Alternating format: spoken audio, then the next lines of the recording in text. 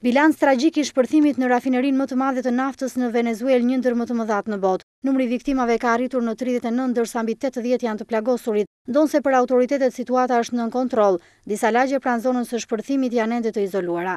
Mes viktimave është edhe një fëmijë dhjetë vjeçar dhe tetëmbëdhjetë pjesëtarë të rojës kombëtare që kanë kazermat në zonat e shpërthimit. Nëntë prej të plagosurve, siç njoftoi ministria e Shëndetësisë, ndodhen në gjendje të rëndë. Shpërthimi shkatërroi impiantin Aguas Agrias në Amaui, ndërsa dëshmitarët treguan se ai ishte dëgjuar deri dhjetë kilometra larg. Në rafineri prodhoheshin çdo ditë gjashtëqind e dyzet mijë fuçi nafte. Ministri i Energjisë deklaroi se shkak i shpërthimit ishte rrjedhja e gazit propan dhe butan të depozituar. Zona më e prekur është ajo rezidenciale në Judibana, ku gjendej dhe kazerma e rojave kombëtare. Era e rëndë e gazit detyroi banorët të largoheshin vullnetarisht nga vendngjarja. Linjat telefonike në këtë zonë nuk funksionojnë, ndërsa mediat lokale njoftuan për dëmtime të mëdha të shtëpive dhe të dy spitaleve.